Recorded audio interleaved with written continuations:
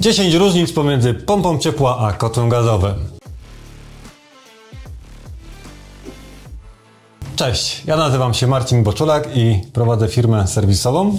Na tym kanale dzielę się moją praktyczną wiedzą na temat ogrzewania. 1. Zależność wydajności urządzenia od temperatury zewnętrznej. W przypadku kotła gazowego, kocioł gazowy ma w zasadzie taką samą moc, niezależnie od tego, jak chłodno jest na zewnątrz. Czy jest minus 10, czy jest plus 20, on grzeje tak samo mocno, czyli to auto po prostu ma taką samą ilość koni, niezależnie jak chłodne jest na zewnątrz, czy jak ciepło. Natomiast w przypadku pompy ciepła, szczególnie pompy ciepła powietrze-woda, takie są obecnie najbardziej popularne w sprzedaży, ta zależność jest przeciwproporcjonalna. Czyli im jest chłodniej na zewnątrz, tym pompa ciepła jest w stanie w cudzysłowie wypluć mniejszą ilość mocy, mniejszą ilość ciepła do domu. Czy to jest problem? No nie, bo jeżeli wszystko odpowiednio dobrze dobierzemy i wyliczymy, to to nie stanowi problemu. Natomiast warto o tym po prostu pamiętać, że wraz ze spadkiem temperatury na zewnątrz mamy coraz mniej ciepła w powietrzu, coraz większa jest jakby droga, różnica temperatur pomiędzy tym, co chcemy mieć w domu, a co jest na zewnątrz. No i pompa ciepła po prostu coraz mniej może tego ciepła dostarczyć. Dwa. Zależność sprawności urządzenia od temperatury grzewczej, czyli temperatury wody, która jest albo w podłogówce, albo w grzejnikach. I tak, dla kotła gazowego prawie nie ma różnicy, czy on grzeje na 20, 30, nie na 20 to nie grzeje, od 30 czy 50 czy 60 stopni. Później nieco ta sprawność energetyczna spada, natomiast nie jest to więcej niż 10%, jeżeli byśmy porównali 30 a 85 stopni na wyjściu z kotła. Natomiast w przypadku pomp ciepła, tutaj spadek efektywności, czyli sprawności, drastycznie spada wraz ze wzrostem różnicy temperatur pomiędzy tym, co jest na zewnątrz, a tym, co chcemy mieć w zasadzie w rurkach w wodzie kotłowej. Jaką temperaturę. Także podsumowując, kocioł gazowy będzie podobnie spalał gazu, niezależnie czy to są grzejniki, czy to jest podłogówka, natomiast pompa ciepła zdecydowanie będzie bardziej ekonomiczna, jeżeli będzie zasilać jednak ogrzewanie podłogowe.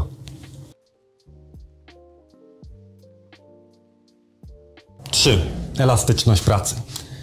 I tak, kocioł gazowy, przynajmniej nowe, nowe kotły gazowe z serii Wismana mają modulację nawet większą niż 10. To znaczy mogą, się, mogą mieć moc minimalną 1,9 kW, a mogą się wkręcić nawet na 32 kW. Natomiast w przypadku pomp ciepła ta modulacja będzie zawierać się od 2 do 3, w sensie mogą zredukować moc o połowę albo do 1 trzeciej. Czyli mogą, czyli mogą się mniej dopasować do zapotrzebowania cieplnego budynku. Co to w zasadzie dla Ciebie użytkowniku oznacza? Oznacza to mniej więcej tyle, że no, kocioł gazowy, niezależnie jak jest na zewnątrz, zawsze znajdzie jakiś punkt pracy, by cały czas pracować i po prostu dostarczać ciepło. Natomiast pompa ciepła może mieć ten problem, że na dworze jest w miarę ciepło, ale czyli im cieplej jest na dworze, tym też mniej budynek potrzebuje ciepła i po prostu może nie mieć za dużą moc minimalną w stosunku do potrzeb budynku. No i będzie musiała się włączać i wyłączać tak, żeby po prostu taktowo dostarczyć mniejszą ilość ciepła niż wynika z jej mocy minimalnej. I to stwarza kilka jakby problemów, które trzeba rozwiązać na etapie jakby montażu i projektowania, w zasadzie projektowania i montażu instalacji z pompą ciepła, o, których, o, o czym warto pamiętać.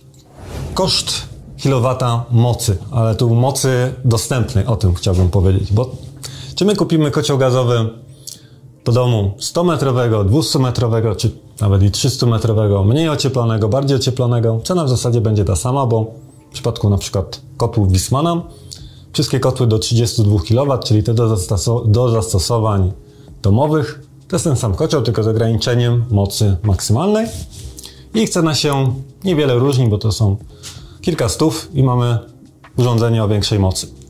Natomiast w przypadku pompy ciepła cena za dostępność mocy może potrafi być drastyczna, no bo w przypadku Vitokali 200S starej serii, bo w przypadku nowych mamy dostępne na razie tylko jednostki jednowentylatorowe, różnica pomiędzy ósemką, czyli 8 kW jednostką, a, 30, a 16 no jest dwukrotna.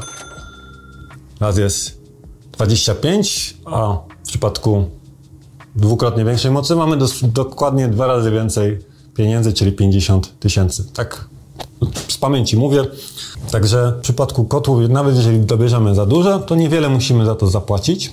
Natomiast w przypadku pomp ciepła warto po prostu wybrać urządzenie stricte pod nasze potrzeby, w zasadzie pod potrzeby naszego domu, żeby po prostu nie przepłacać za większą jednostkę, która i tak będzie gorzej pracować, gdy będzie miała za dużą moc w porównaniu do zapotrzebowania cieplnego.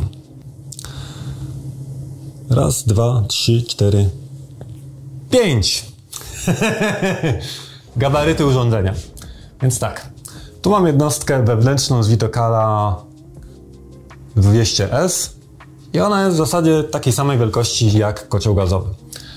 Więc można by powiedzieć, że gabaryty są dokładnie takie same, ale to dotyczy tylko jednostki wewnętrznej. No bo w przypadku pompy ciepła mamy jeszcze klocek na zewnątrz, czyli jednostkę zewnętrzną, która jak widać mała nie jest, a jest to wersja jednowentylatorowa, czyli z tych mniejszych. Do tego nam w przypadku pompy ciepła dochodzi jeszcze zbiornik na ciepłą wodę, który będzie na pewno zawsze większy od takiego, który by wystarczył dla kotła gazowego. W przypadku pomp ciepłowysłana to są zazwyczaj zbiorniki 250 albo 300 litrów, natomiast do kotła gazowego więcej niż 150 rzadko się zdarza, a nawet jeżeli braknie wody w takim zbiorniku, no to szybko nadrobimy, bo kocioł ma po prostu dużo większą moc i może zagrzać na szybko tą wodę, natomiast w przypadku pompy ciepła, no jeżeli nam się już to wszystko skończy, co jest w zbiorniku, to trzeba, to będzie to trwało wielokrotnie dłużej, dlatego musi być większy. Do tego w przypadku pompy ciepła zazwyczaj nam dojdzie jeszcze bufor, pompa dodatkowa, no więc te elementy, które po prostu są finalnie w domu w przypadku pompy ciepła, zazwyczaj jest ich więcej i zajmują więcej miejsca niż w przypadku kotła gazowego. 6. Wrażliwość urządzenia na jakość wody grzewczej, czyli tego, tej wody, którą wpuszczamy do instalacji grzewczej. Przypadku kotła gazowego ta wrażliwość mógłbym określić ją na poziomie średni. Kotły gazowe przeżyją twardą wodę, brudną. Może trzeba będzie coś odkamienić, szczególnie wymiennik płytowy w przypadku ogrzewania przepływowego ciepłej wody, ale to nie jest trudna sprawa i nie jest kosztowna. Oczywiście zachęcam, żeby tam wodę wpuszczać jednak lepszej jakości niż taka zwykła kranówka. Natomiast w przypadku pomp ciepła faktycznie to będzie problem, kiedy instalacja jest brudna, kiedy ta woda jest brudna i to wszystko spłynie do pompy ciepła, bo tam w większości przypadków jest wymiennik płytowy. Taki sam prawie jak w kotle gazowym, który ma też funkcję grzania ciepłej wody. Tylko problem jest odkamienianiem tego wymiennika i skalą jakby tego, co się dzieje, bo po prostu w przypadku kotła gazowego nie będziemy mieli tylko ciepłej wody, albo będzie ta woda falować, natomiast jeżeli pompa ciepła będzie miała brudny wymiennik płytowy, to może nam się wszystko, że tak powiem, rozjechać i nie pracować w ogóle nam nic. A też sposób jakby czyszczenia jednego i drugiego jest inny i na niekorzyść pompy ciepła, jeżeli chodzi o koszta, na pewno czyszczenie takiego wymiennika no jest dużo droższe. Także w przypadku pompy ciepła, jaka woda, to ma znaczenie. Kolejne, czyli 6, 7, raz, dwa, trzy, 7. Tak, 7. Wrażliwość na taktowanie. Czym jest taktowanie? Wyjaśniałem już w kolejnym odcinku, ale teraz tak pokrótce. Jest to moment, kiedy urządzenie musi się często włączać często wyłączać, bo po prostu nie ma odbioru, nie jest zapewniony odbiór ciepła po stronie instalacji grzewczej. I w przypadku kotłów gazowych, no w zasadzie jest to dla nich jakiś tam problem, ale one przeżyją, będą po prostu trochę krócej żyły, a w zasadzie kilka komponentów, czyli transformator zapłonowy, może wentylator. Natomiast nawet jeżeli by nam przyszło wymienić te elementy, no to nie będzie to aż tak drogie, jak w przypadku wymiany kompresora w pompie ciepła. Bo ten element nie lubi ciągle się włączać, on lubi długo pracować, a później długo sobie stać. A jeżeli się ciągle włącza i wyłącza, to wtedy jest problem. I tym samym problem taktowania zazwyczaj wynika właśnie z błędów, szeroko pojętych błędów instalatorskich, czyli złego doboru, złego zwymiarowania rur, więc 8. Wrażliwość na błędy instalatorskie, czy błędy doboru. No w przypadku kodów gazowych, to jak one są elastyczne i odporne na to, no to jest nieporównywalne w, w przypadku.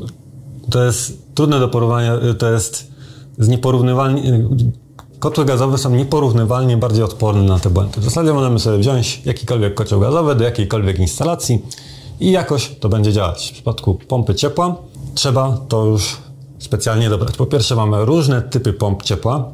Jedne są bardziej do instalacji podłogowych, inne są bardziej do instalacji wysokotemperatur, wyż, wy, wyżej temperaturowych, chciałem rzec. Wysokotemperaturowych to raczej może niekoniecznie, yy, czyli grzejnikowych. I tu już można popełnić jakby więcej błędów, dobierając złe urządzenie do złej instalacji albo źle to po prostu łącząc w całość. Także kotły gazowe to nie jest filozofia, można by tak rzec, natomiast w przypadku pomp ciepła no jakiś tytuł e, filozofa by wypadało mieć, żeby je zamontować. A mi żart, suchar przed. Dobrze. 9. Koszta. I to koszta inwestycji. Jeżeli by popatrzeć na same gołe urządzenia, no to faktycznie pompa ciepła będzie dwukrotnie, może nawet i trzykrotnie droższa od kotła gazowego. Jeżeli mówimy o samym urządzeniu, jakby tego, co trzeba kupić z nią, czyli zbiorniki na, zbiornik na ciepłą wodę, zbiornik buforowy versus kocioł gazowy. Natomiast jeżeli spojrzymy na ten problem, czy ten, na ten aspekt szerzej, czyli weźmiemy na przykład nowy budynek, do którego jeszcze nie ma doprowadzonego gazu, to może wyjść taka sytuacja, że koszt przyłącza, projektu do przyłącza, projektu instalacji gazowej w środku, wbudowanie szachtu kominowego i wsadzenie rury spalinowej do kotła może nam zrównoważyć tą różnicę e, w całym koszcie inwestycji, jeżeli porównamy pompę ciepła a kocioł gazowy. Ale to mówimy o sytuacji, kiedy coś robimy od zera. Jeżeli mamy już dom, w którym mamy już gaz, no to niestety pompa ciepła będzie na pewno droższa w zakupie i w montażu niż kocioł gazowy. No i ostatni aspekt, gdzie też mówimy o kosztach, ale już samej eksploatacji, to tutaj na ten szalenie zmienny moment, jeżeli chodzi o ceny nośników energii, no trudno powiedzieć, co będzie finalnie dla Ciebie tańsze w eksploatacji, no bo patrzymy tutaj na horyzont czasu rzędu 15-20 lat. No na ten moment przy ogrzewaniu podłogowym pewnie pompa ciepła będzie tańsza, przy ogrzewaniu grzejnikowym pewnie gaz będzie tańszy. Chociaż jak weźmiemy pewnie całość inwestycji, no to może wyjść, że jednak kocioł gazowy na ten moment zawsze będzie tańszy. No ale jakie będą ceny gazu za rok, dwa, a 5, 10 to już nie wiemy. Wiem na pewno, że na ten moment cena gazu dla gospodarstw domowych jest znacząco niższa niż dla przedsiębiorców. Cena gazu ma prawdopodobnie większą szansę wzrosnąć niż cena prądu, który na ten moment dla gospodarstw domowych i dla firm jest podobny, więc tam raczej ten potencjał wzrostu jest większy. Ale co finalnie będzie, jak długo nasz rząd będzie utrzymywać niższą cenę gazu dla gospodarstw domowych? W rządzie nie jestem, więc nie wiem, a jeszcze sytuacja geopolityczna i gospodarcza też może nam wiele namieszać, więc tutaj trudno powiedzieć. I to byłyby według mnie najważniejsze 10 różnic pomiędzy pompą ciepła a kotłem gazowym. Ja Ci serdecznie dziękuję za Twoją uwagę. Zapraszam do subskrypcji, bo będziemy tworzyć jeszcze więcej materiałów z pomp ciepła. A tymczasem cześć i do zobaczenia.